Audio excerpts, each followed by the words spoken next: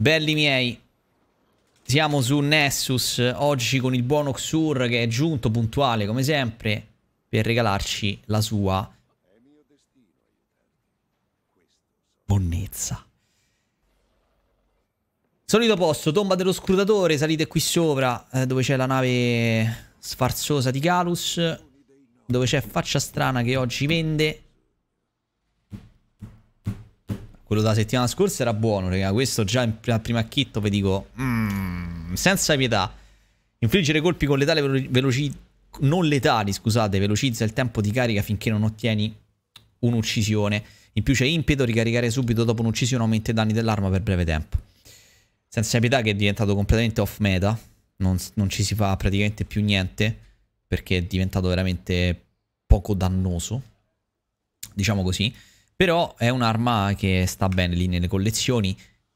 Non sia mai che un giorno, domani, Bungie si sveglia e dice Ah, fucili a fusioni, fucili a fusione. Vi baffiamo. Rileva nemici. Cacciatore. Contrassegna i nemici a cui si mira. Infligge più danni ai nemici con poca vita contrassegnati. Ni. C'è ancora qualcuno che ogni tanto la usa in crogiolo, ci si può fare qualche build interessante, però niente di che. In PvE praticamente il danno che si infligge con poca con, ai nemici con poca vita che sono contrassegnati è veramente pessimo, cioè pochissimo.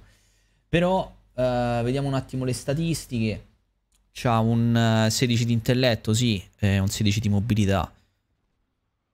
Con statistiche non male, però c'è il recupero a 9. Magari si mette una mod sul recupero arrivi a 19, eh, 21, 18, 18 quando lo si masterworka.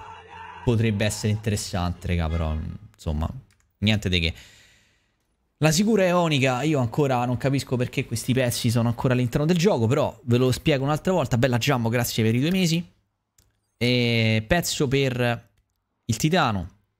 I corpi a corpo forniscono le seguenti abilità agli alleati del culto eonico nelle vicinanze, quindi vuol dire che se volete usare questa esotica, anche i vostri compagni di squadra devono usare questa esotica. Quindi energia delle granate per gli stregoni, energia del corpo a corpo per i titani, energia della schivata per i cacciatori.